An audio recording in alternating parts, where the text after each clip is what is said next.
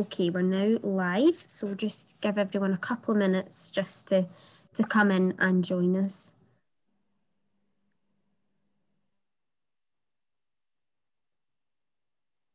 Hi everyone. Just whilst we're waiting, um, I'm just going to let you know that we're just letting everyone join in the webinar. So we cannot see you or hear you as participants, but hopefully you can see the five of us here today, the panelists for this session. Um, I'm just going to give it a couple of minutes just to let everyone filter in, get logged in. Sometimes it takes a minute or two. Um, and I don't want to anyone to miss out on any information, so we'll just give it a minute.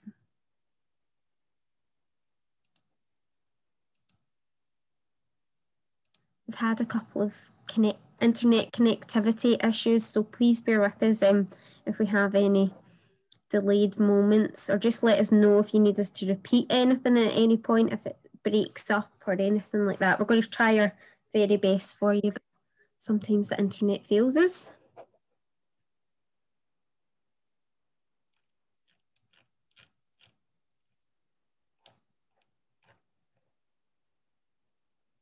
Okay, I can see that we're starting to, to level off there.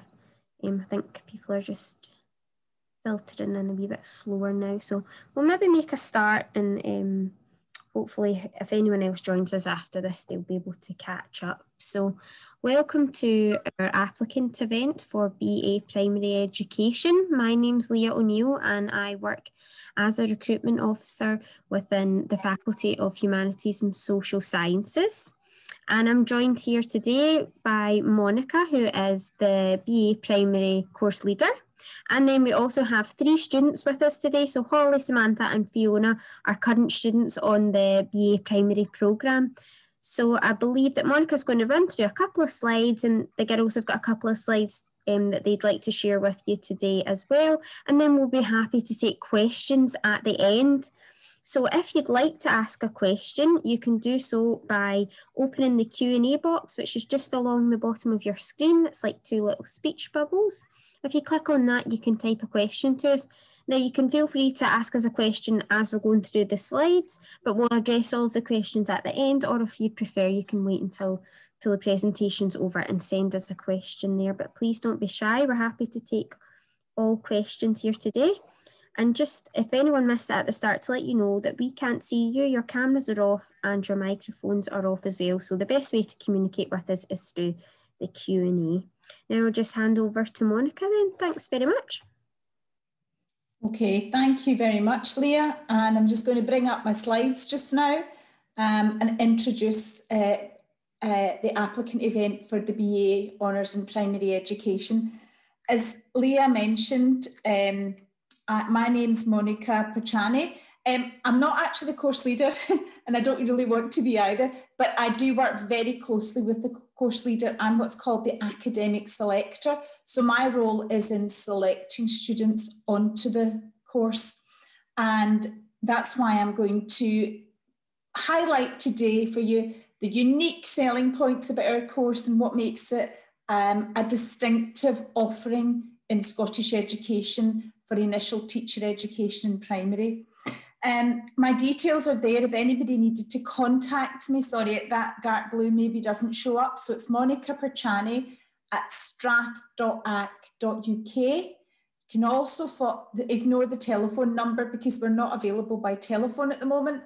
But certainly, um, Twitter is a, a common message of communication, um, more for highlights of things that are happening in and around the uh, School of Education and the course.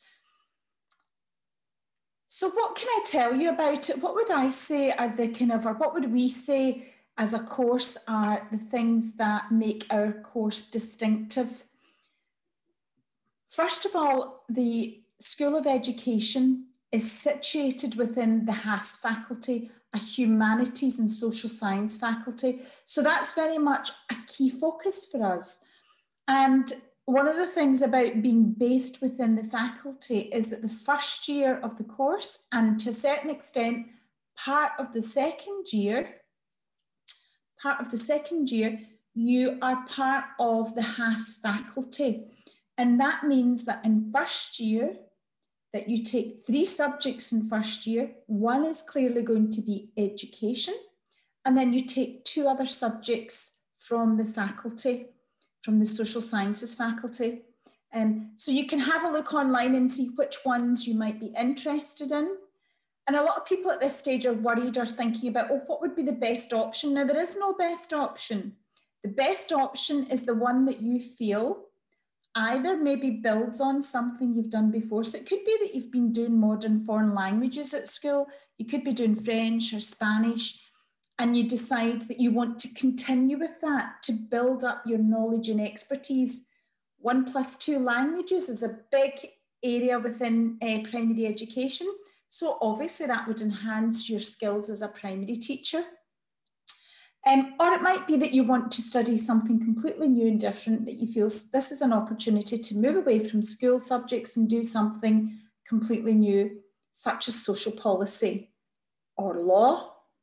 Um, or it might be there's a subject like history that you didn't get to choose at school and you'd like to study that. Psychology is another area that many students find helps them understand the development of the child and actually orientates them in terms of primary education, or it might just be that they're really interested in psychology. So there are lots of choices there for you to think about. What do you want to get out of your university degree? So in the first year, education classes are with, are with other students and particularly joint honours education students across the faculty.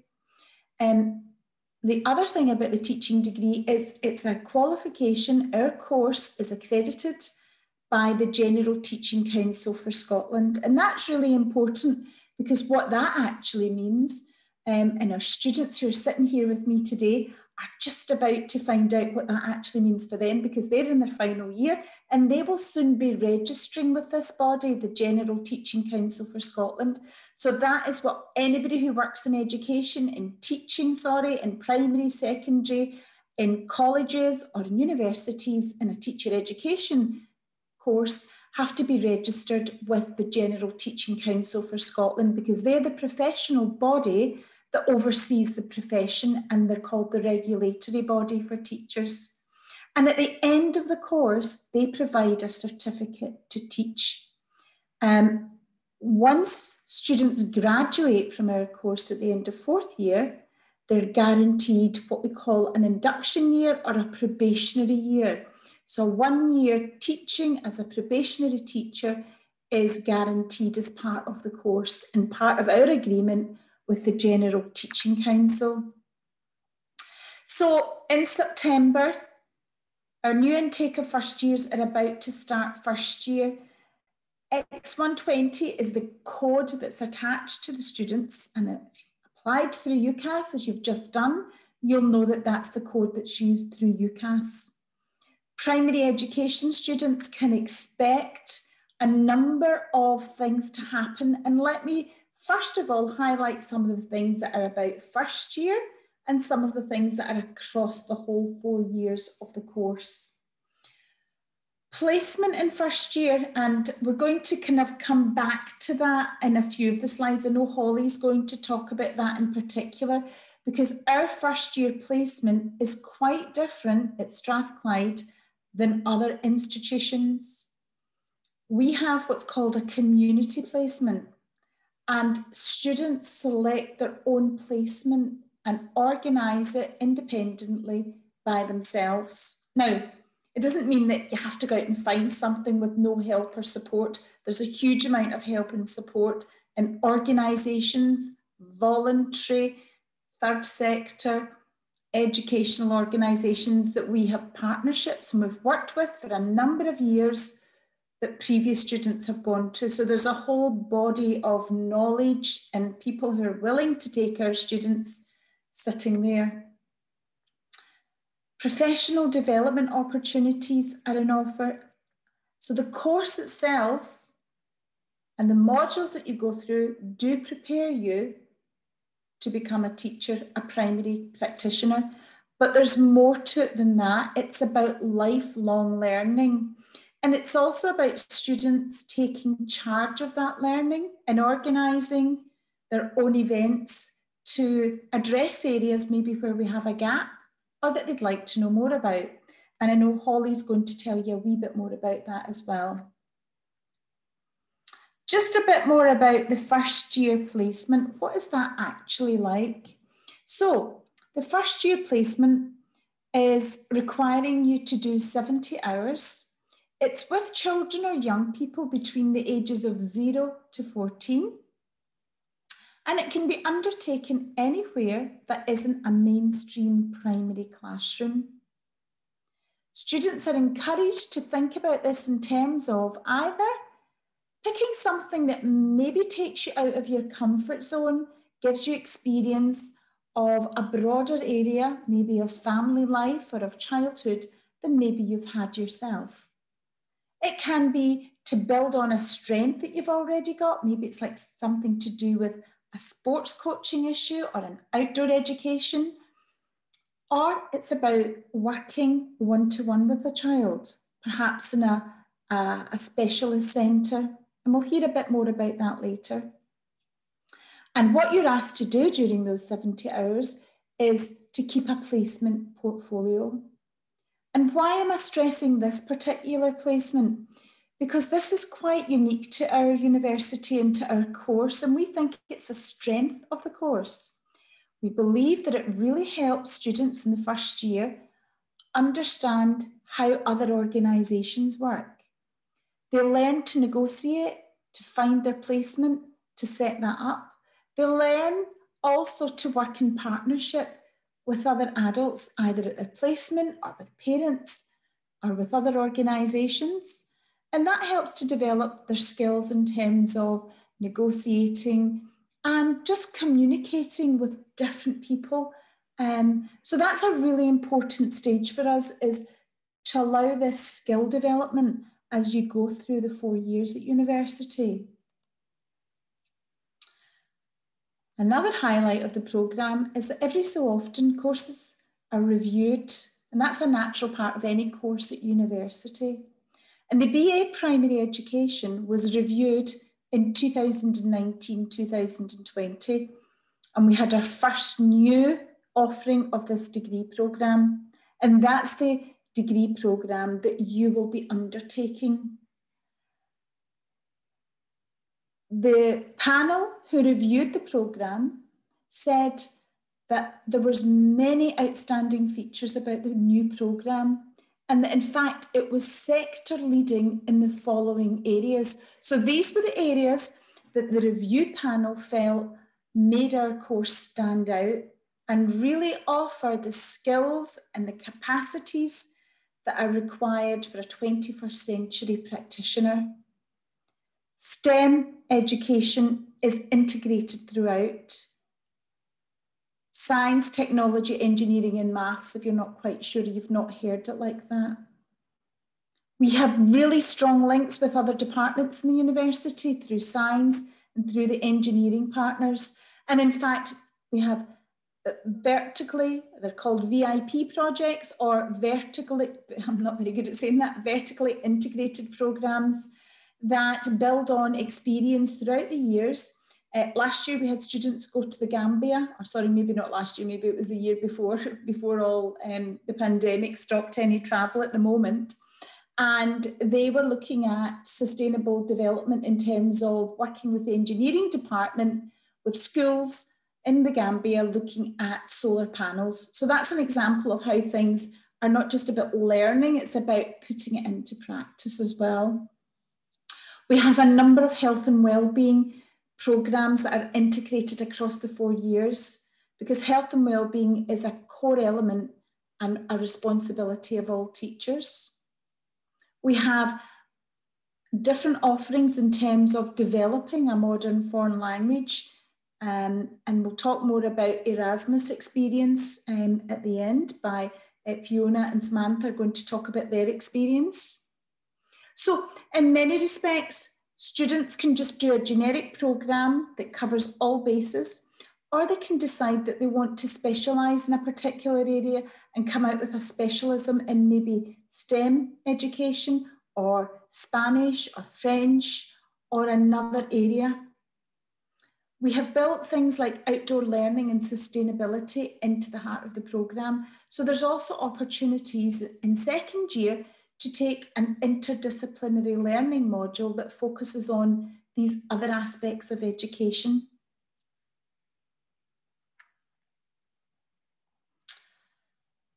Overall, the kind of key skills and competencies that the General Teaching Council look for in practitioners, first of all, is that Scottish teachers need to be reflective practitioners. They reflect on their practice so they can develop their practice. And we start that right away in first year with this community placement, where students are expected to develop their expertise and also to develop um, a reflective log on their placement experience. And that reflective log, right from the word go, starts off that whole experience. Professional dialogue by going to a community placement, negotiating it, getting involved with people who work there at all levels of the, the, the placement then they're starting off the course in terms of learning how to take part in professional dialogue. Many of the tutorials and seminars expect students to come along prepared to contribute, prepared to take part, to debate and discuss issues. Okay, so it's a very interactive course and programme. And what we're trying to do is to develop what we call teacher agency so that you have the skills necessary to help children, to put the right things in place for children when you become a teacher. We also want to instill from the start this idea of it doesn't end when you graduate with your degree, it's lifelong learning is what we're looking at in terms of your overall development. And we start that off ourselves by offering many supported learning opportunities. Another really important aspect as well is working collaboratively. So some of our assessments, different stages in the programme, are collaborative group work assessments where people work in a team and every team has responsibilities and decides how they're going to complete a project or a task. So those are also really important. More widely, students are often very interested to know, well, how do, what do we offer in terms of other international opportunities, and there are a number of really, really good international opportunities. We, we're part of the university uh, Erasmus program. Erasmus stands for the exchange program that exists between British universities and European countries. Clearly, with Brexit, that's going to change and it will be under a new name starting in 2023. But we're being assured that this programme will continue with the partner organisations that we're already working with, the universities in Sweden, the Netherlands, Belgium, Switzerland, and Spain that we have an agreement with. And you'll find out a bit more about that in a moment. An Erasmus exchange is for a semester. Not everybody's interested or is able to undertake a full semester. So we have got other things that we offer. We have international study programs, which are maybe of a shorter duration. Um, and we've had those in the past to countries like Malawi, the Gambia, and we have, um, for a number of years now, we've had um, a program which goes to China um, in partnership with Nanjing Normal University. And we're hoping that that will resume quite soon. Shorter courses that maybe last a week are to Radboud Summer School, and we've had students go to Zwolle to a school in the Netherlands on an exchange programme. So I'm going to hand over now to Holly, and Holly's going to tell us a wee bit about her Strathclyde experience. And I'll do my best, Holly, just to move the slide on for you when I think it's time, okay? And if you want to just hold up your hand, then I'll know, I'll watch you. Okay, thank you, Holly. Thank you, Monica. Um, so yeah, I just thought I would speak a bit about my first year placement experience. Um, as Monica said, it's a really unique opportunity that Strathclyde offer because you can basically think of what is something that you want to personally improve on, or is there something that you would like to have had a chance at and you've not quite yet given it a go. Um, so my first year placement was within the Donaldson Trust. Um, the Donaldson Trust is a school in Linlithgow for children who have learning difficulties and hearing impairments. So um, a lot of them rely on using the sign language. So um, your placement as long as it's not in a mainstream school, it can be in, you know, a school working with children with particular needs. So this school, for example, there were only 10 pupils at the time.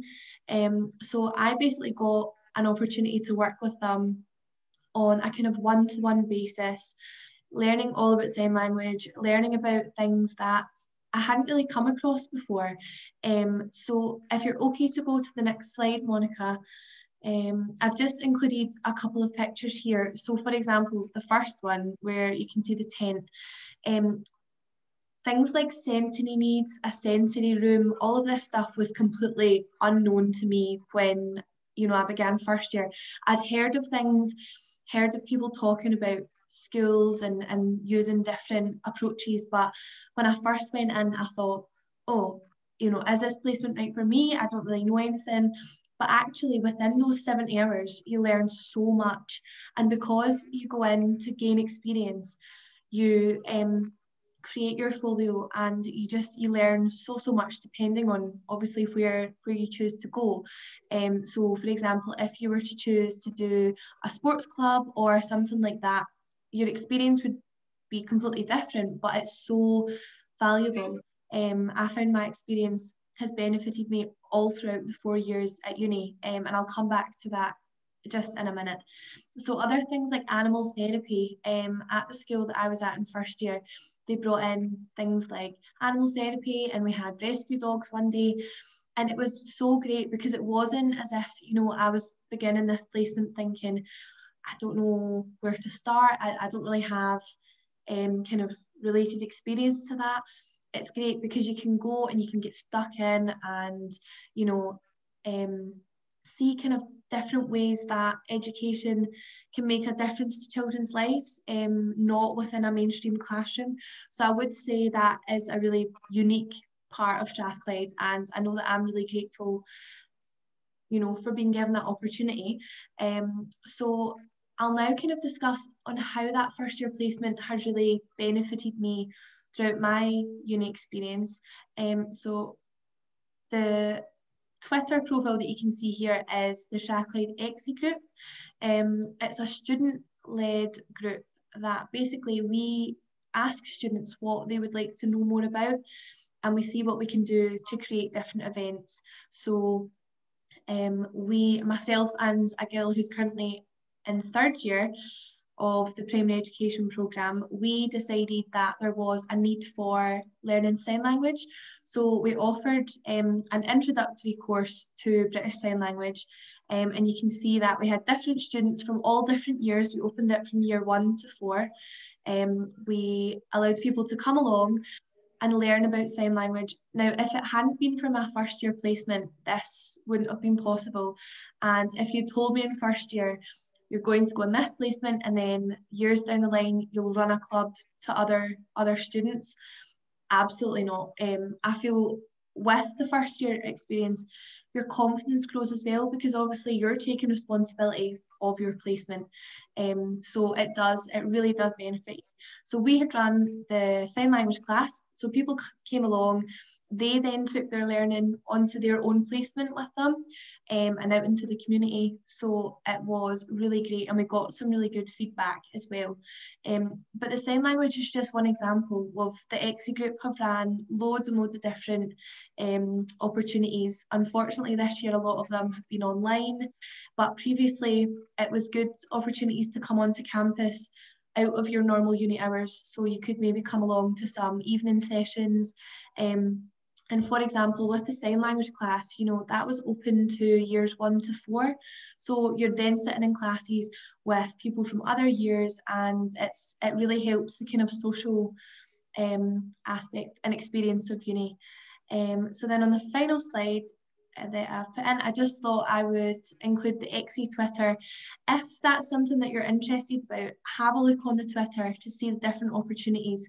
Because, um, like Monica said, you know, the course provides you with loads of learning opportunities, but there are also additional um, experiences like XE. So have a wee look to see there are different events and you can also see some student feedback as well. And then I thought I'll put my teacher Twitter just in case you've got any questions um, about anything that I spoke about.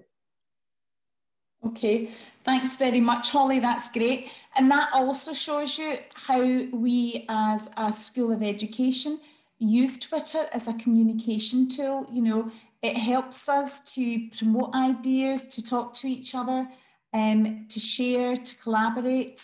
Um, and Twitter for us has been a really good way to do that. So um, if you're on Twitter, um, uh, then have a look at it and just see. And it's also, it, you can follow some of the things that have been done more recently in the School of Education. Okay. Now, the other area that we mentioned was uh, the final slide that I talked about was going away and having what we call an Erasmus semester abroad. Now, Erasmus is something that the School of Education works in partnership with the Central Erasmus team at the university. And we have worked with a number of schools across Europe, schools of education, to set up an agreement where our students go to that country and their students come to us at Strathclyde. And as part of their exchange, we have set up an exchange where they also have a school placement opportunity. Now, unfortunately, last year's um, Erasmus exchange was um, cut short, but I'm very pleased today that two students who managed to take part in that opportunity um, are here today. So Fiona and Samantha are going to tell us a bit about their Erasmus experience. Okay, so do you want to unmute yourself, Fiona and Samantha, and we can move on to your experience and you can tell them where you went to. Yeah, perfect. Um, so I'm just going to try and chat more about like the application process and like before we even got there. Um, so in third year um, at Strathclyde, you'll get offered an opportunity which we call Erasmus. Um, it's a term abroad experience where you can go and live in a different country for that full term. Um, and then you attend the university of that country and that area. So myself and Fiona did this last year. Um, we moved to Belgium in January last year, um, and although our experience got cut short because of COVID, um, I would still highly recommend it to absolutely everyone. Um, so I think it was in our second year, we there was lots of events like information events um, to attend and to get all the information about. So don't worry about that now. But um, definitely, if you're even slightly thinking about it, just go along to the events and see what's said because um, I wasn't like 100% sure I wanted to do it. And then I went and it was, yeah, I was so set on it. Um, because what they do is they get students that have been the year before to come and speak to you about their experience.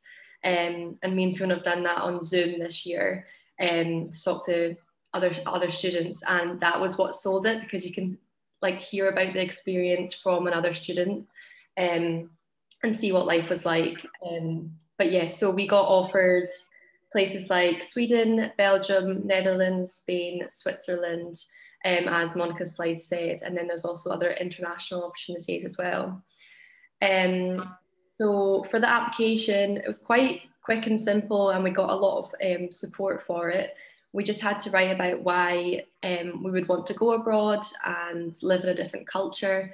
Um, and obviously your countries, like the country preferences. So we had to rank the countries that we would most likely like want to go to.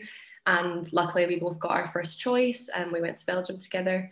Um, and you also have to just write a wee bit about um, like why you think you might be a good candidate to represent Strathclyde in a different country. Um, but it was a really easy app, like application, and you just have to be totally honest. Um, so yeah, and then once you get a place, you get told where where you're going. Um, and again, there's so many like information sessions, and the staff and the Erasmus team and Monica are like obviously email really quickly back if you have any small questions. Um, and yeah, and just they help with all the paperwork we need and all the communication between the universities was all really easy. Um, the university also provide a grant which can help like cover moving costs, spending or living costs. Um, it does depend which country you go to because, for example, like Switzerland's a very expensive place to live. Um, but ours was around a thousand pounds and you get like 80% of that before you go and then 20% when you finish your Erasmus. Um, so that was a massive help, like when we moved there and had to go get some stuff from IKEA and our rent and stuff like that as well. So that was good. Um, we went in the second term of university, so we moved in January last year, um, and then you're supposed to be there till May, um, I think, or maybe June actually. Um, but yeah, as COVID hit in March, we were only there for about seven weeks, but it was still just the best experience. Um, and Fiona's going to talk to you guys a bit more about like what it was like when we were actually away. Do you want me to move on, Fiona, the slide? Um, yeah, that would be good, thank you. Um, so I'm going to talk to you guys about the benefits of going abroad. So one of the best things about it is the people you meet because you make friends with people all over the world. Although it's um, we're going as people from Europe, you also meet people from America, and we had friends from America and like South Korea and stuff on our course. We actually lived in the same accommodation as them. Um, we stayed in studios, but we had like communal kitchens, which meant we could eat together, and then we could also eat food from like other people's countries, which was really great. Literally, like everyone's in the same boat as you. Like everyone's just arrived in a new country, so everyone's so lovely. Everyone wants to make friends. Um, the other obvious positive um, is living in a different culture. So not only is everything a bit different, like the way you get about, like on transport, like in Ghent in Belgium, everyone got around on bikes. We didn't, but um, most people rented bikes. I broke my elbow when we arrived, so that was kind of off limits for us. But most people did that, and it looked really fun. Um, there's also something called ESN, which is like the student network, and they plan like nights out and like day trips and stuff like that, like so that you can become more like involved with the culture. Um, and then obviously the food, like Belgium was amazing. There was like waffles, chips, like cheese croquettes, like all the food was so good. We ate so much. Um, it was obviously really good to experience the other education systems. So the university, although it was quite similar, um, like we had a lot of courses that obviously overlapped because it's education. Um, things were different. Like we had a lot more modules there, but the assignments were quite a bit less demanding, quite a lot shorter as well. Um, there was a few differences. Like here we get a word count for essays, whereas there we were told like two pages, that kind of thing. But it was all really interesting. Um, your placement will differ depending where you go, but ours was twice a week, one day in a primary school and one day in a preschool. Um, but that's what we chose. You could have picked like um, zero to three year olds as well, or other modules. Um, they do speak Dutch there in the schools, which obviously you have to really adapt your teaching. We didn't even get really to do that, but um, so obviously like a lot of like visuals and like pictures and uh, body language and stuff. But it's obviously a really really good experience to have, um, and you get to like see the differences between our education system and theirs. Like for example, they go to school a bit later than us, so their first year of primary school, and they're like six and seven, the children. But it's obviously nice to see like the difference. Um, another great thing is because you're in mainland Europe, it's really easy to travel. Like we did day trips. We went to like day trips around Belgium, went to Amsterdam by coach. It was like, I think we paid like 20 pounds or something. And it was like an overnight or like a really quick coach. So easy. We obviously had lots more places planned that we wanted to go, but obviously that couldn't happen.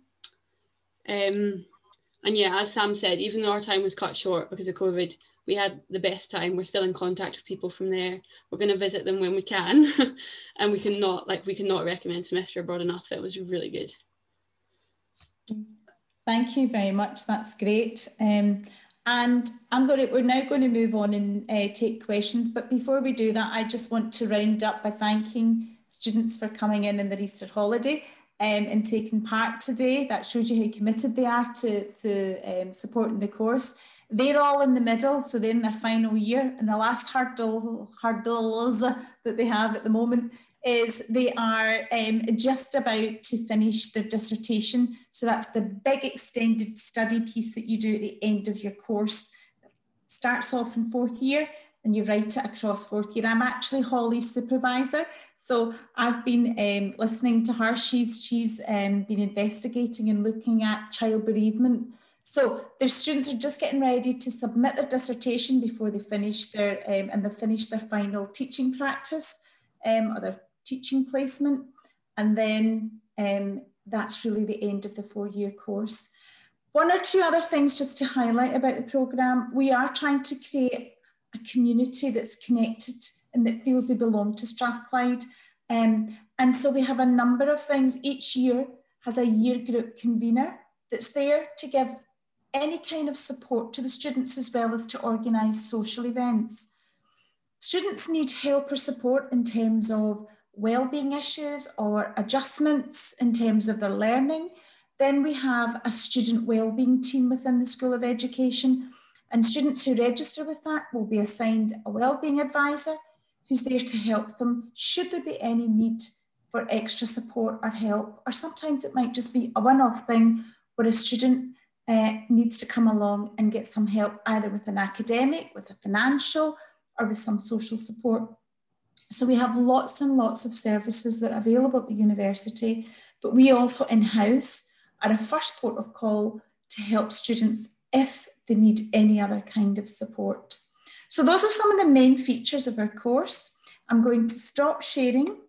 I know that Leah has um, questions that you've been sending to the Q&A and we'll all now be happy to answer those questions.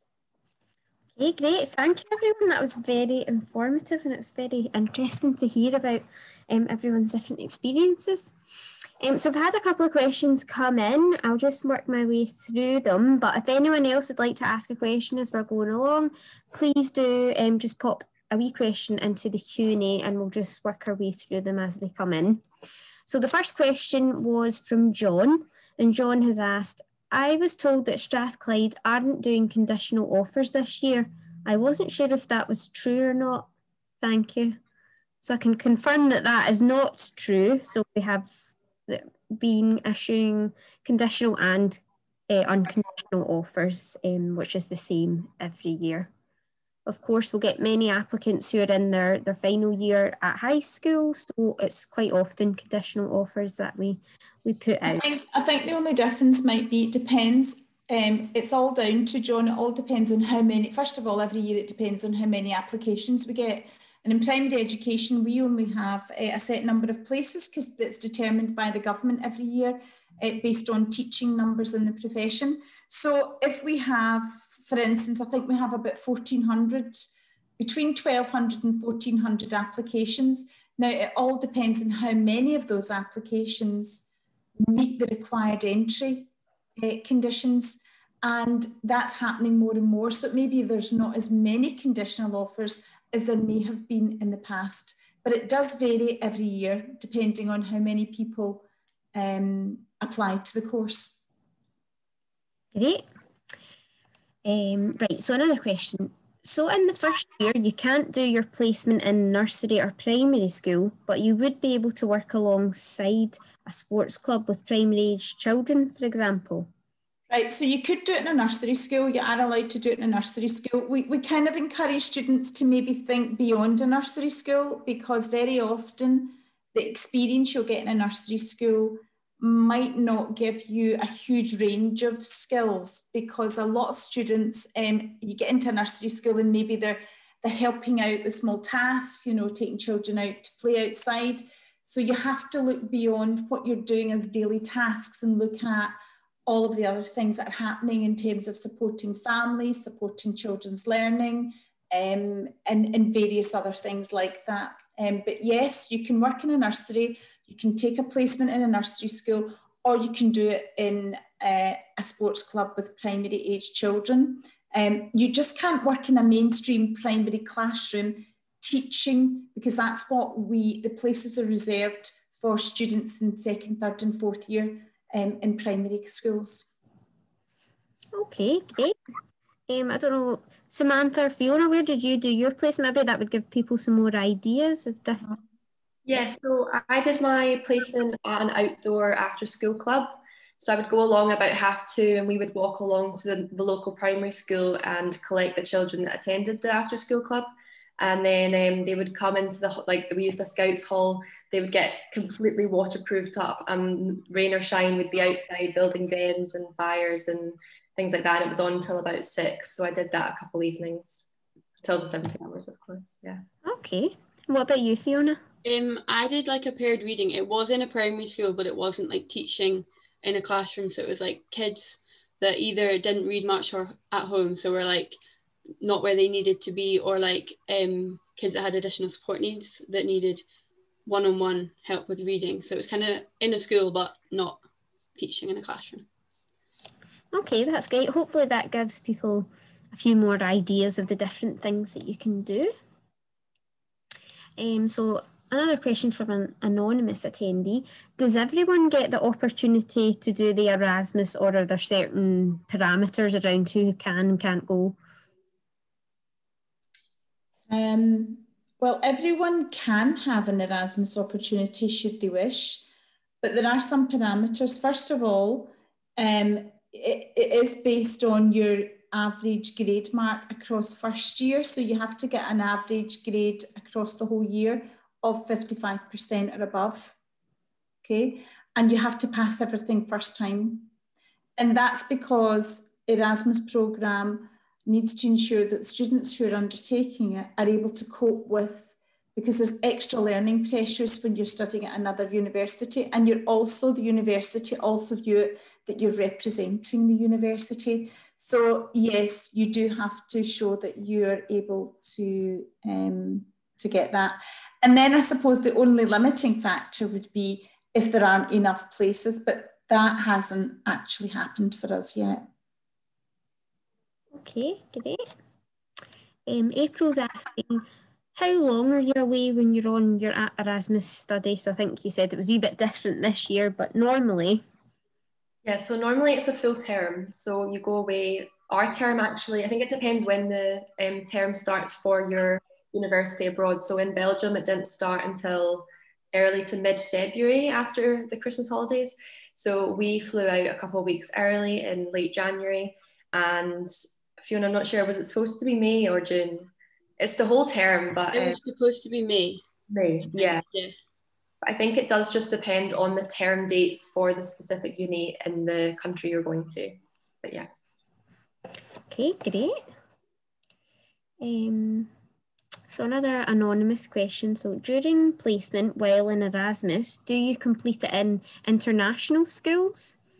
Um, so it depends. So your age group, it would depend. Like some of them speak English. It's not an international school, but um, some kids will speak English and some won't. It depends on your age. In the preschool, I wouldn't say any of them would really speak English, but there were children in the primary school, so they were age six or seven, and a few of them could speak English. Um, but your classes at university are all in English. Um, you can take like we took a Dutch language class to help us, but um, all the classes are in English, so that's quite helpful. I think it depends on the country as well, because in Belgium and like the Netherlands, they are generally very good at English, anyways. So most of the other students, we because we were working alongside Belgian students in group work for uni all the time, and all of their English was very good, um, and all the lectures and stuff as well as Fiona said. But um, yeah, the older kids in primary school probably can speak a little bit of English, and they do have English lessons. But the days we were on placement um, with the like six, seven year olds, everything was being taught in Dutch, and um, we just had to go with the flow and adapt and be flexible and just learn from it. So yeah, it was good.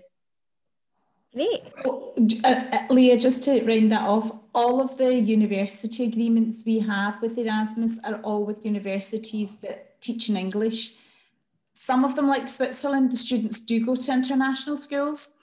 Other ones, like the girls have described, are in countries where, where there's generally a really good standard of English spoken from about eight or nine years onwards. Uh, and some, like Spain, they don't they go into a Spanish school, but many of the students who go to Spain want to improve their Spanish, so they're quite happy with that. And they would be teaching the Spanish children English. So that would be what they would be teaching the children. So it works really, really well for us, regardless of the country. Okay. That's great.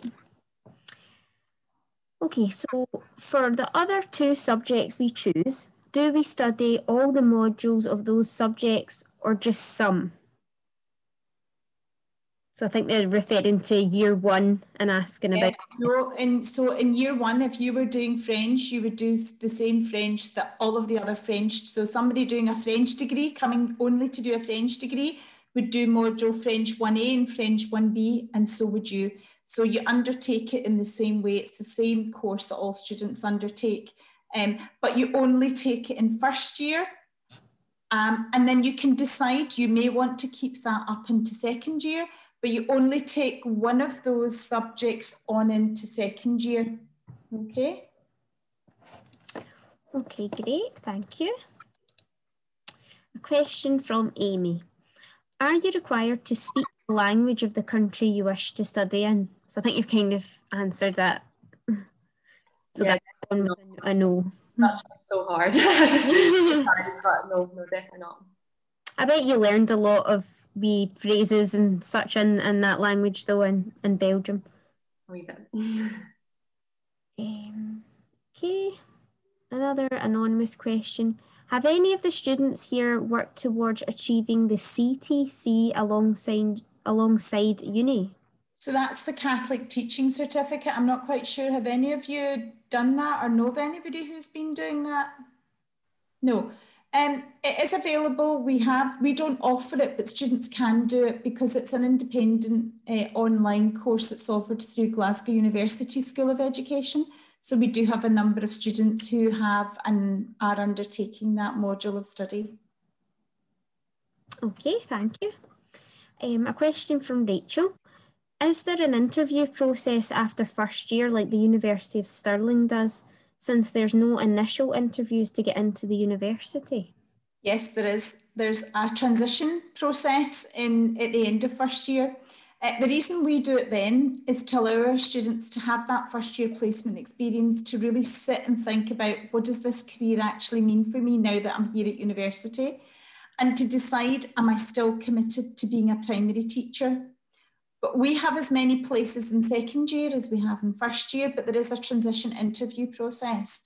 And it helps students who don't want to continue to come forward and say, I've really thought about it. I don't think primary teaching's for me now that I've been in the course and I've tried it out. And therefore, we can then help them get on the right programme. Perhaps they'll just continue and do a joint honours in education um, as a preferred option. So it's more to help students make that right decision. It's not about we're not trying to trip anyone up or we're not trying to stop anyone from getting on to second year. It's a quality assurance process. Does anybody want to talk about anybody remember their first year interview?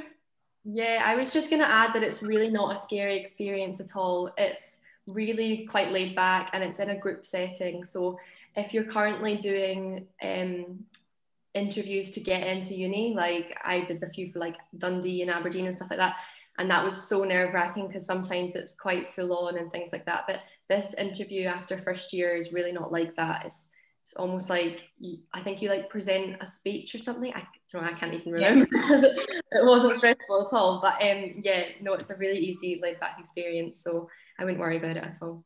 Mm-hmm. Okay, Okay, great, thank you.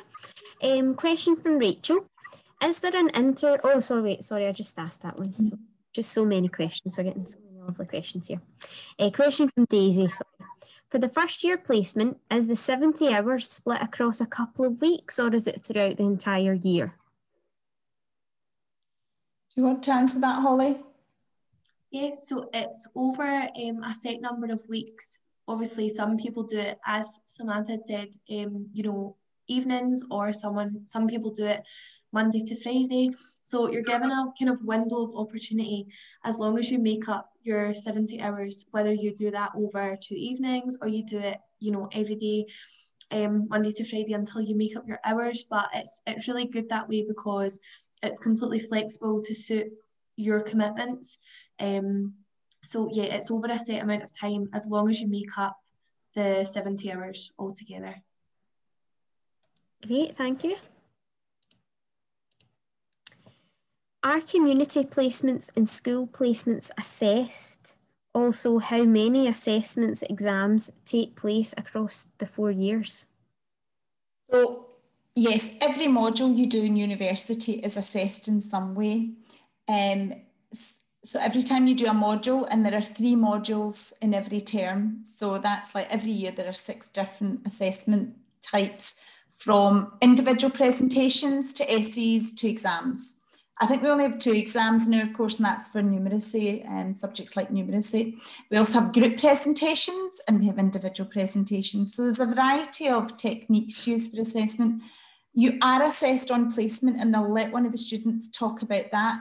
But for the first year community one, you're not assessed on the placement, you're assessed on your reflection on learning of what you've learned about in a portfolio that's submitted as a formal assessment. Okay. Um, Fiona, do you want to talk about what, what's the school? How are you assessed when you're out on school placement? Um, so on school placement, although it goes towards your credits, it's not like you don't get a grade for it. So it's just pass or fail. Um, and you always, if you fail, you get like a, like a reset or something to come back and try again. And it's always like a little thing. Um, you're assessed on your folder, which you have to put like your lesson plans, your reflections, your what you've done each day. It's a, like a, a, big piece of work.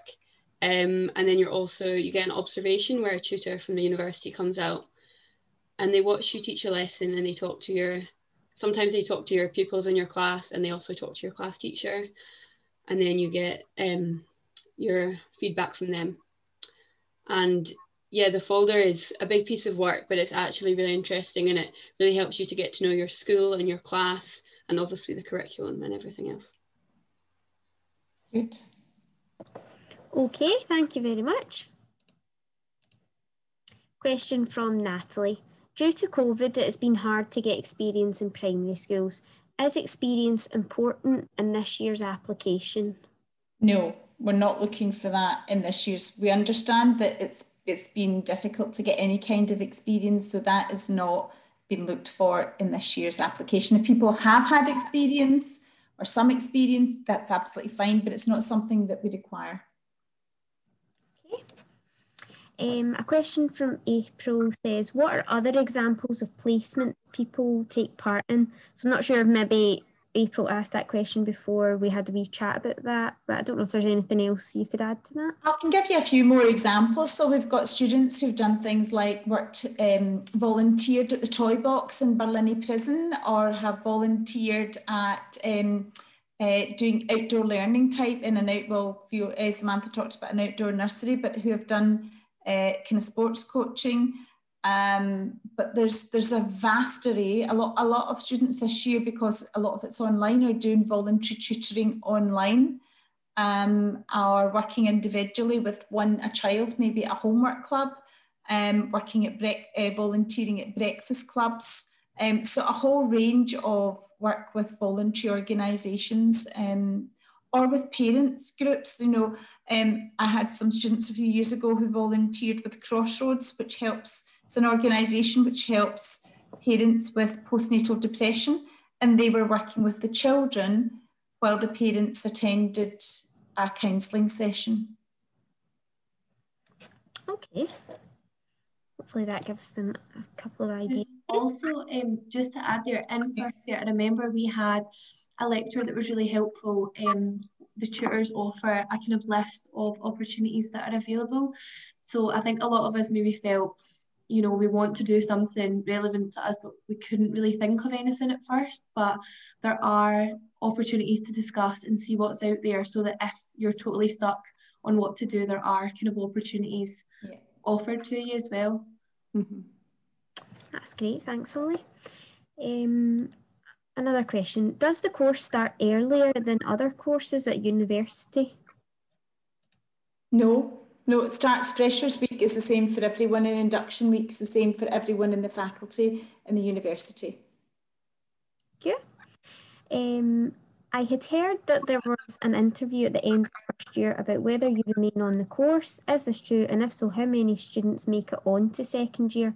And what can you do to secure your place? So I think we've answered the first. Yeah, we've answered that, and there's as many place there's as many places in second year as there are in first year, but we do have some people who decide not to proceed because they feel it's not the right course for them, and we also have students who, for other reasons we don't think are right for the course, maybe students who have not engaged with the course, haven't attended, and also maybe who have failed some of the modules that they really need to, and they, we make a decision at that point that perhaps they haven't shown the level of commitment that we would expect uh, for primary education, and um, we, we look at helping them find another course.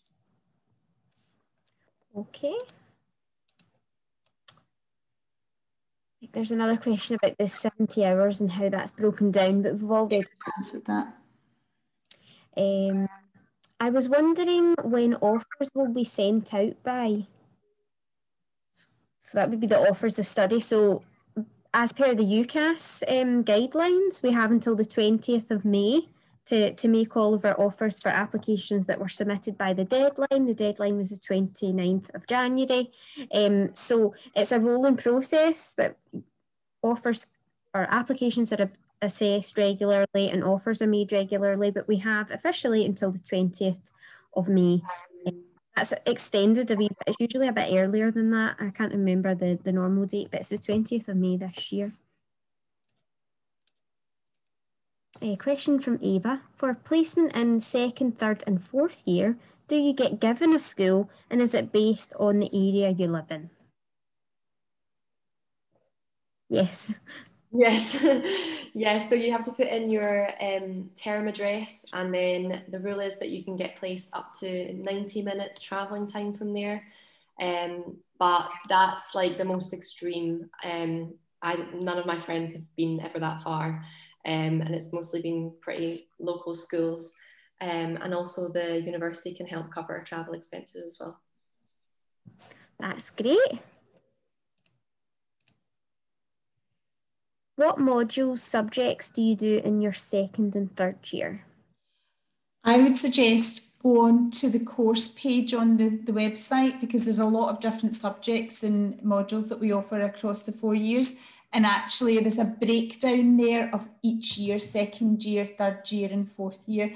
But you do a mixture of modules that teach you about teaching, like educational studies, and modules that are about curriculum, subjects that you'll teach in the curriculum, and then also about getting you ready for going out and placement. Those are the three kind of areas that each year covers in different ways. But you'll get a breakdown of the exact modules on the course page for the BA Primary Education um, on the website. And I can post that link if you want, Leah, just now.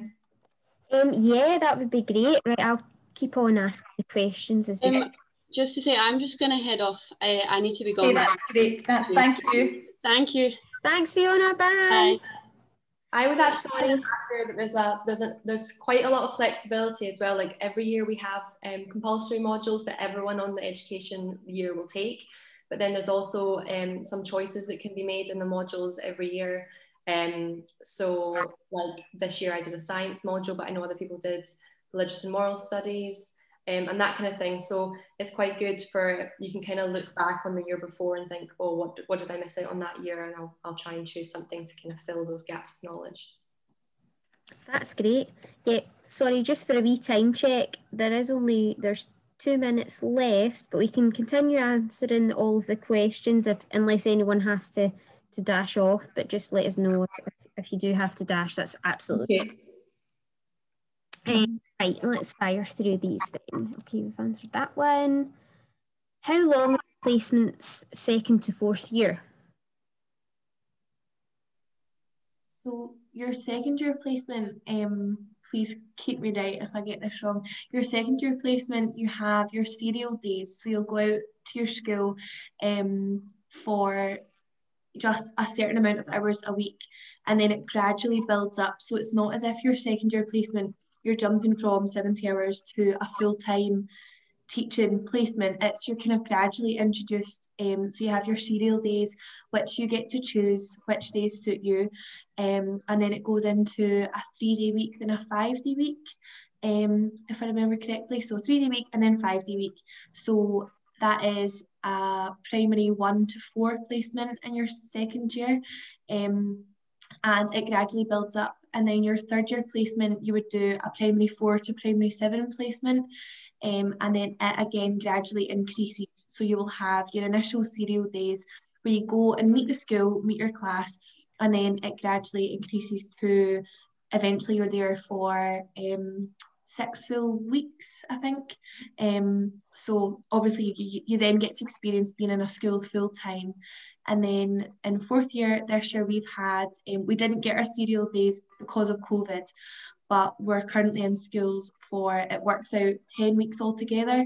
Um, so but throughout all of the placements you get an opportunity to initially meet everyone and then like I said it builds up. So you will you will eventually be in the school full time um, but there's lots of support for for getting to that stage.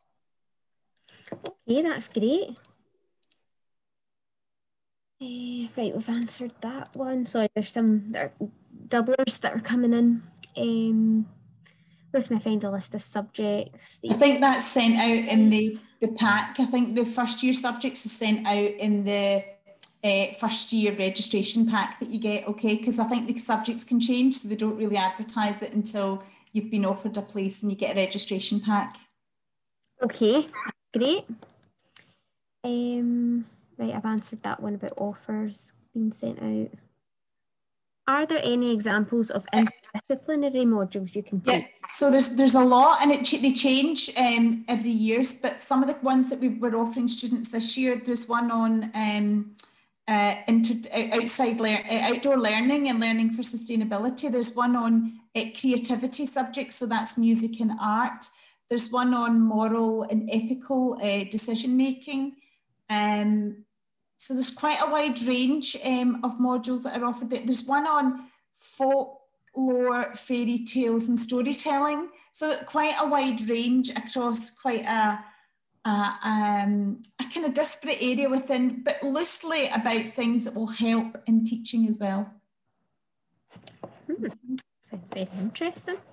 Um, are we required to have a PVG before coming onto the course? Not before coming on the course, but you're talked through that in first year. You have to have it for your placement in first year and you're helped to do that. How do the placements after, oh no, we've answered that one. Um, how many people in lectures at one time? It varies in first. to Holly, you go. no, no, it was just that previous question I had said about it being in Glasgow or hometown, but same with a similar question, it'll always be kind of local to your area. Um, even from first to fourth year, it'll still be a local school. In lectures, they vary. It depends on the subject and what you're studying. So Psychology, for instance, a lot is really popular in first year, so a lot of people study it. So those are quite big lectures, um, two and three hundred. Um, and some, if it's just a course lecture for primary education, it might just be 150. Um, so they do vary enormously depending on the subject you're studying. Okay. Great.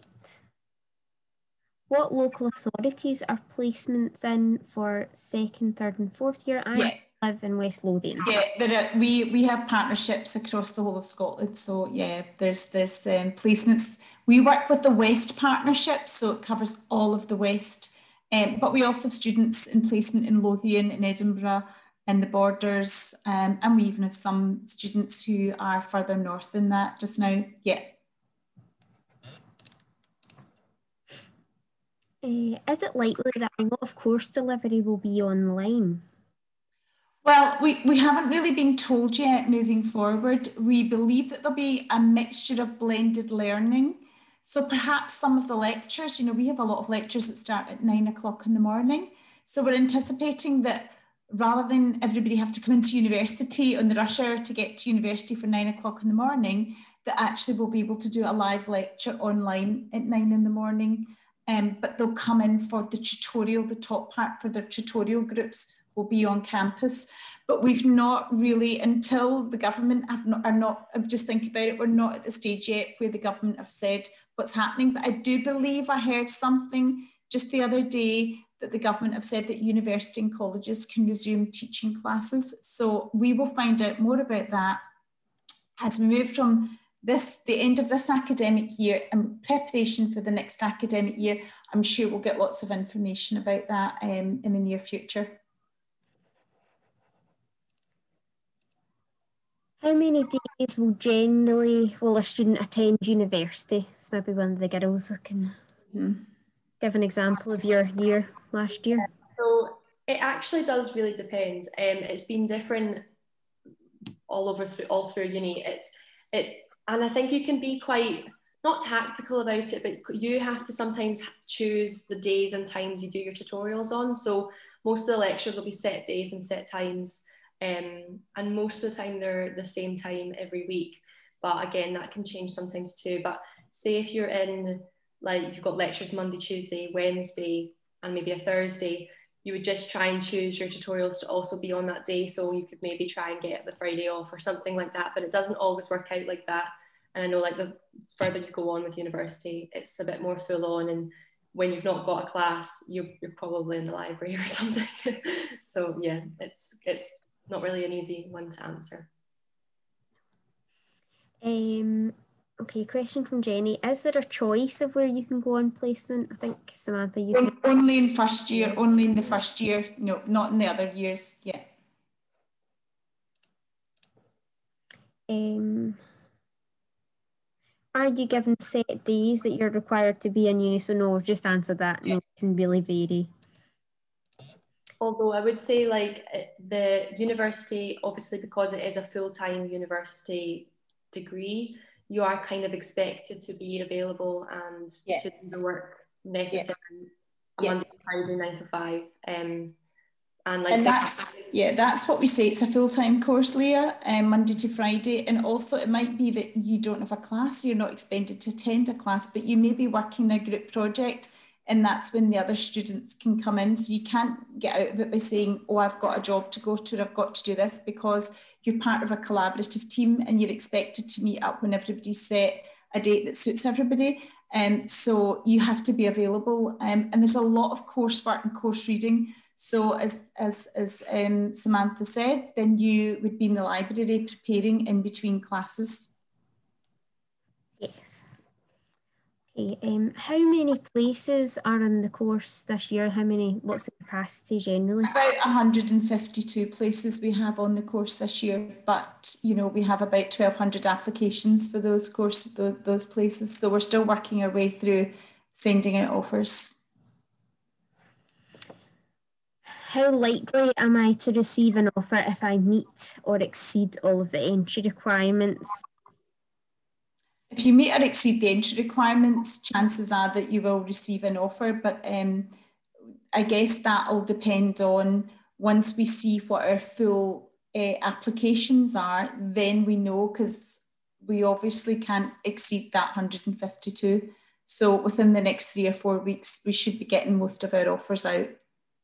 I think it's important to say as well, it's not just about the the academic qualifications. It's no holistic view when viewing applications. So it's about the personal statement um, for teaching, etc. So yeah. it's not just about that. So it's hard to you can't really say that you, you can't necessarily. It's the reference and the personal statement and the qualifications. It's three things that we take into consideration. Um, a question from Daisy. Is there an opportunity to do a master's degree afterwards? Yes, um, in fourth year, the credits that our students can get, they can get additional credits that count towards uh, a master's degree. And within the School of Education, we, we run a number of master's programs. So sometimes there's help, there's, um, if you apply, you know, straight from doing your undergraduate, you get a discount on some of the modules when you do the master's. So we really do encourage students to think about that um, and to use some of the credits and the discount towards coming back and doing a master's degree. Um, and we have a, a, number of master's programs that we run in the School of Education as well. Yeah, if you're thinking ahead, you can look on the website at our postgraduate yeah. offerings if you want to. But of course, you'll be given support at the time, won't you? Uh, towards yeah, absolutely. So we bring that in at the end of fourth year. We talk more about that at the end of fourth year. Um, have you been able to have a part-time job at the same time as being on the course? Maybe the girls can answer that one. Yeah, definitely you can. Um, there's all your evenings and weekends and things like that as well. And if you have quite a flexible part-time job, then it's also an added bonus because say if you do have a day off or an afternoon off, you can accept shifts, but you just have to be aware that like if something pops up last minute that you need to then be flexible so that you're not letting a group down or a tutor down or something like that. But you definitely can do a part-time job. I would just advise that it's not that many hours and it's quite a small job rather than something that's too full on because you'll just end up feeling quite overwhelmed trying to work and trying to do like all your assignments at the same time. Yeah, um, just agreeing with what Samantha said, and I think as well that so for example, I worked in a restaurant in the evenings and weekends um, throughout of first and second and most of third year.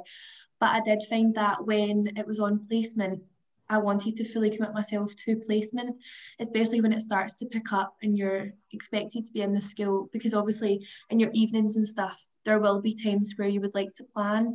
So I think yeah, just totally agreeing there that as long as you have a flexible job, maybe um, small hours of commitment, because at the end of the day, you know, there are certain points in the uni semester that will be busier than others. Um, so it's great to have a part-time job alongside it. Just there are certain times where um, it might be best to take on less shifts than than others. Great. Okay, that's a, a good one for um, Holly and Samantha. What made you decide to, to choose Strathclyde primary teaching over other universities? Um, so I was actually a second time rounder for UCAS. I applied for UCAS and didn't get any of my five. Um, so did a gap year and came back and applied. I actually hadn't applied to Strathclyde the first time and then I'd come across the course a bit more in depth for my second application and thought I would apply for that. Um, I actually never went to any of like the events like this, but after doing like loads of research online, it seemed like a really good course, and I was really happy that you could do placement all four years. Um, that was a that was a big thing because I just loved being out in school. I'd done loads of work experience during my gap year and throughout the last years of my like senior school, so I didn't like the thought of going in and just doing loads of lectures and stuff. Um, and Strathclyde has been like really practical. Um, as Monica said earlier, there's only been, I think I only sat two exams, and one was for numeracy and one was for my other subject in second year psychology. Um, so for being on a four-year course and only being in an exam hall twice um, has really benefited me because I've never really been an exam person, and Strathclyde's like allowed me to do a lot of like collaborative group work and kind of learn from others and obviously being on placement a lot is a, a great benefit. Absolutely. yeah just totally agreeing there. Um, and also having that first year opportunity being able to kind of seek your own placement. I would say another thing that had sold another random thing that sold strathclyde to me was that um, within the library on the top floor um, there's a resource centre which hopefully will be after covid hopefully will be open to be used again. But it's it's the little things that I feel that at Strathclyde, you know, the effort between the staff team and um, and all the staff at the uni, it just it really does make a difference. Um, so the resource centre is basically a section of the library that is set up kind of like a classroom. So you've got your smart board and you've got your resources and all of the reading materials um, and teaching materials as well. So, you know, if you're going in and thinking, I don't even know how to work certain things, you can go in there and it's with other teaching students of all years. Um, and I know that I'd mentioned that to people at other universities and they don't have something like that.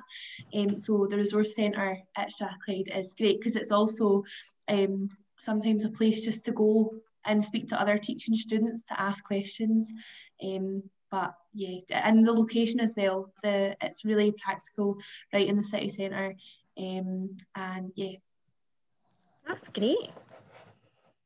Um, I would also add the sports centre. I've not been in yet because of COVID, but it's literally brand new and the gym looks insane. And um, I've been in last before Christmas for a drama module I was doing because we were using the dance studios.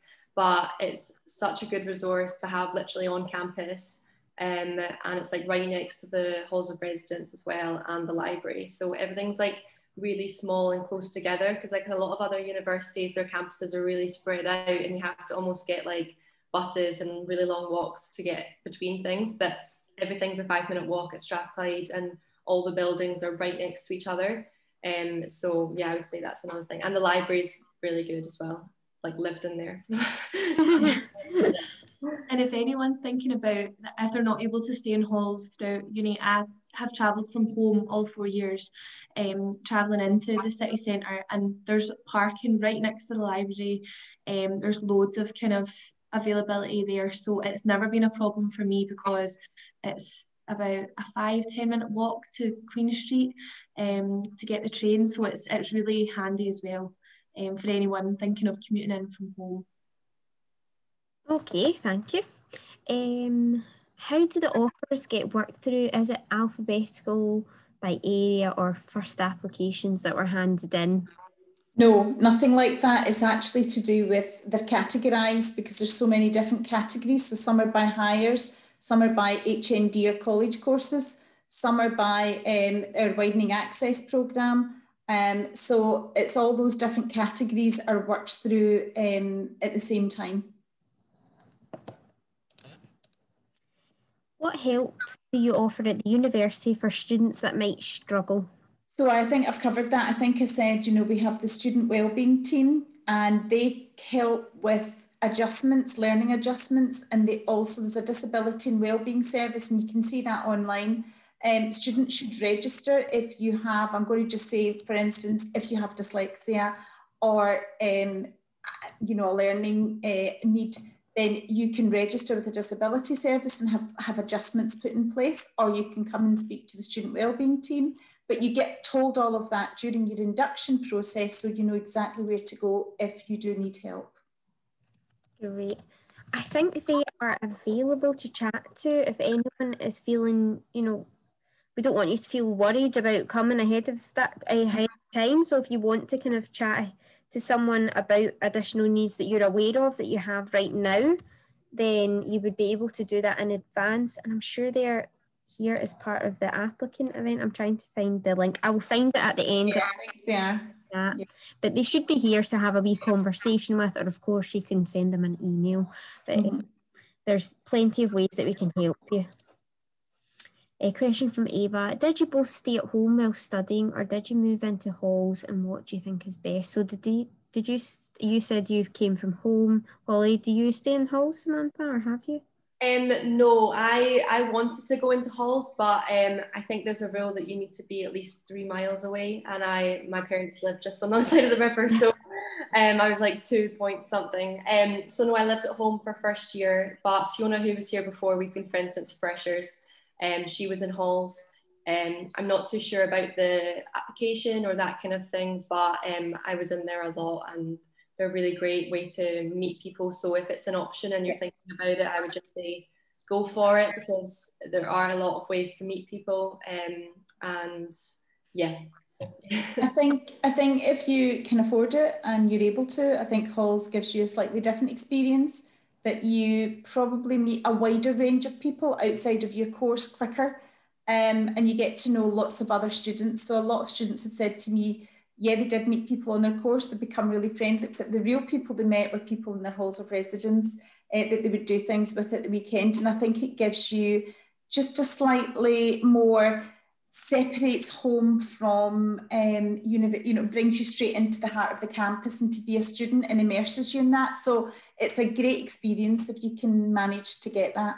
Yeah, that's the difference as well. Because when you go into halls, you're not just with people on your course; it's from ev- everyone. It's a mix um, and they're all like some, I think some are um, same sex and some are mixed. I'm not too sure, um, but yeah, it was it was great, and even just because sometimes you have like an hour break between lectures and tutorials, and if you're not going to halls, just make friends with someone that's in hall. yeah, it was great. But I moved out. Good tip. Was, um, I've lived out of home from second year, so yeah, it's good. Okay.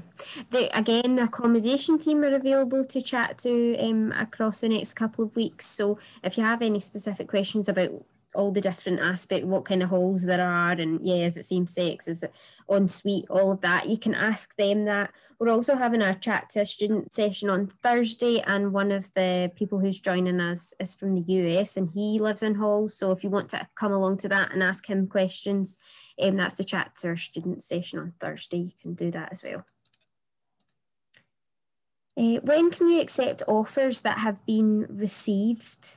So that would be a UCAS thing. I think once you have all of your once you get an offer, you can accept it from the minute you get it. Yeah. yeah. I think yeah. so. You have the opportunity to make your firm choice and then your insurance choice. You have to make your choice, and I don't know the dates because I can't mm-hmm. remember what it is, but it's usually about the end of May, the thirty first of May. You have to have made your you, you have to have accepted an offer by then.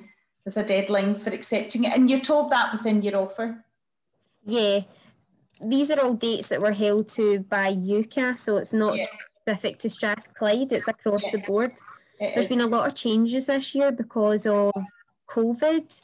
Right. So it's I'm just trying to get the right date here. It's uh, the 10th of June this year. You're right. It's normally right. the 31st of May, isn't it? So it's been extended, uh, maybe because of the exam situation in SQA and everything, to sort of make sure that everything's done and dusted before that. But you should you'll be told that when you get your offer, I would imagine, from UCAS. Yeah, you can also anytime check the UCAS website. So I'll just pop this into the chat. So there's a key date section on the website which gives you all the all the dates related to anything to do with responding to offers or um, making decisions and all that. They're all on there. So that was our last question. We'll just hang on for a wee minute just in case anyone's got any last questions to, to throw at us there. Um, otherwise, you can email us if you go away tonight and think about something or later in the week. You can feel free to send us an email. I'll put the general e email into the chat function as well. You shared, shared your email address, um, Monica, but I'll just put the the general one in as well. If you are wanting to contact us, remember to include your UCAS ID so we can check your application. Oh, here's another one. Did anyone join any socials? I think they mean the clubs like societies. And do you have time for them? There's loads of social clubs. Um, we've got students who have also are on um, maybe our part of an elite sports team and maybe on sports scholarships. So we've had international um, students who play internationally. I think we had somebody, I can't remember, sorry, was it netball. Um, and uh, yeah, so we've had somebody that played uh, netball competitively internationally, but we also have students who join lots of clubs like that, like the hockey team. A Wednesday afternoon is um, a, a, time in this the, the calendar. Sorry, we should have mentioned that so Wednesday afternoon we keep free. We don't normally have classes on a Wednesday afternoon unless you're out in placement. School placement actually takes over at that point. Um, but you are entitled to time off. Say, for instance, we've had to book a class on a Wednesday afternoon or there's a placement class. We have to allow the students to take part in, say, for instance, they're in the hockey team or they're in a sports team and they're, they're competing as part of that, you know, with other universities. They're in a university league. They're entitled to, to a Wednesday afternoon off to go and do that. So we don't normally have scheduled classes on a Wednesday afternoon, and that's the time for social, many of the social groups, sports and social meet on a Wednesday afternoon, sometimes in the evenings as well. So there's there's virtually hundreds of um, different social uh, clubs and events that meet at the university um, did any of you, have any of you, Holly or Samantha, been part of anything formal? No, it is something I wish I had um, participated more, especially in the sports ones, because with our new sport kind of facility, it's it gets yeah. such people talk so highly of it. Um, yeah.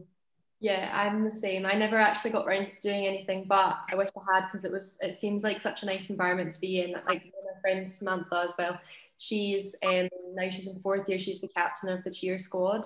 Um, but she started cheer when she, in first or second year, I think it was, and it just seems like such a nice environment and community to be in because you end up doing things out with university and you meet a lot of new people. So there's definitely a lot of opportunities for it. Definitely. Um, I think a lot of students, maybe they don't join a club, but they do join the sports centre and they go regularly. There's a massive amount of classes and clubs and sports facility in sports things on at the sports centre. So I think a lot of students maybe do that um, as well. And there's also a lot of um, events and things on at the student union building. So people maybe go along to the student um, union and do something, maybe an event or a talk or something at the student union or a music thing um, when that's fully operational again. Yeah. Yep, there's a lot going on. I think they have still been doing loads online throughout COVID as well. So there's still a lovely student community that's very vibrant and active. Even so do we want to finish? There's a good one to finish it. Mm-hmm. Holly and. Samantha, what one would you say has been your favourite module or a module that you've really enjoyed um, that you've not mentioned so far? Do you want to go first, um, that's a difficult one. Um, I think one that's I've got. Can I have two? Um, yes. One, one that I really liked was um, a module in second year, and someone had mentioned it. It was um, like a moral, moral and uh-huh. philosophical, um, ethical issues. Ethical mm-hmm. issues, yeah, which to me was really interesting because there were a lot of subjects that related to, you know, teaching subjects. For example, you'll get opportunities to study science, PE, digital technology, um, but the moral subject for me, it was really interesting because on placement you'll face a lot of opportunity like a lot of experiences that maybe people don't agree the same as you or thinking about cultural differences and personal experiences so i think that was really interesting to me because it was a kind of discussion based subject um, that really opened my eyes because I think before that subject I was quite naive to a lot of things. Um, but it was just really interesting hearing from other students how they would kind of you know approach different moral dilemmas um, and in that course you get an opportunity to do a group presentation to discuss a moral issue. Um, so I would say that one and um, so learning for sustainability um, in first year was that I think. Um, so that that was really good. Um, it was opportunities to go out into the kind of community local to the university um, or kind of local to Glasgow. Um, it was really good because it allowed you to see learning opportunities you know how you could take learning outside it was something i didn't have experience of and it's good because you get to go with your friends on the same course and you go and see learning opportunities um, for example we went to so there was like the children's woods in glasgow um, the athens village Balmaha, I think we went to as well. Uh-huh. Mm-hmm. Loads and loads of different um, kind of days out opportunities to learn as well. I would say those were my two kind of stick out modules? Yeah, so I really enjoyed that side of it as well. But there was a lot of things like when I was in high school, I just absolutely hated science and maths and all things that. And actually, looking back on my university experience, all the kind of STEM subject modules have been my favourite. Um, I think because it challenged me a lot, and, and I, I was very arty at school, and I thought I was going to go into being a teacher and be very like arts and drama and things like that. But we had a module last year, I think it was Holly, in first ter- in the first term, um, science, technology, and ICT, and I did. Um, you did like one of the three, um, and I was doing the digital literacy, and um, and uh, so it was so useful. I'm so glad I did it because now being out in school in our Glasgow Council area in an upper school class, um, the kids all have an iPad, and we use the iPads all day every day. Well, not all day every day, but most we try and use them all like a lot. Um, so that really helped because one day um, Apple genius guys from Buchanan Street came in and showed us like loads of different things we can do as teachers um, and told us about the Apple teacher program as well. Um, and then at the end of that module, one person from science, one person from technology, and one person from digital literacy came together to then create a sequence of lessons to try and use all three um, on the same topic, which was good because we could then learn from each other. Um, and then in the first term of this year, I kind of, as I was saying earlier, like kind of looked back on my university experience and realised that I hadn't really had any science input yet. So I chose science as my optional module. Um, and although it wasn't in a lab, a lab like it normally is, um, I still learned so much from the the tutors on that module and I'm now planning a science forward plan for my placement this year because I was just so excited about doing it. So it definitely, all the modules definitely push out your comfort zone and make you realize that you'll love teaching like all the aspects of, of the curriculum rather than just the ones you thought you'd like. Okay, thank you very much. Um, so thank you both to Monica and Holly and Samantha and Fiona before she, had to dash. But um, hopefully we've answered everyone's questions today. And if you have any other questions, then we're always um, able to get in touch with us via email and we'll do our best to get back to you. And hopefully we'll see some of you in uh, September. So thanks for joining us today. Thank you. Thank you. Thank you.